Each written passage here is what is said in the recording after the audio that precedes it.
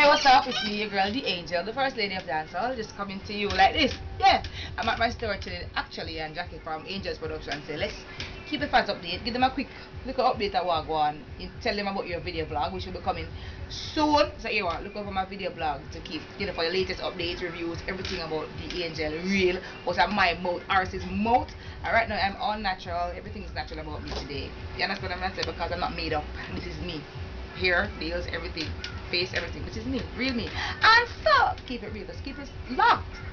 Right? Keep it locked. Me say that.